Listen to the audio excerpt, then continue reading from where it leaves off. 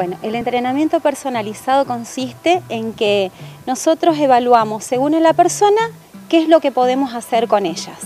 Em, cada persona tiene un objetivo, digamos, entonces lo que hacemos es que em, hay personas que arrancan de cero, hay otras personas que ya tienen, digamos, un entrenamiento anteriormente.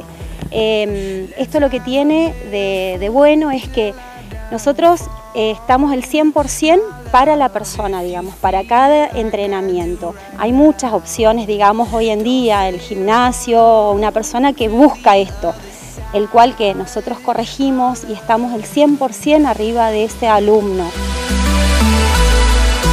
que pueden hacerlo en su casa, en una plaza, ellos son los que determinan qué quieren. También obviamente también tienen la posibilidad de que si ellos quieren hacer un entrenamiento en un gimnasio también lo pueden hacer.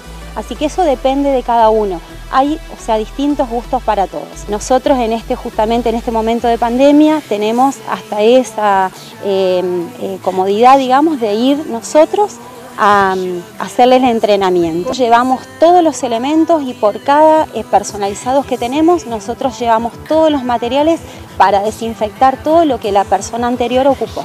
Eso siempre lo tenemos en cuenta justamente por ese motivo.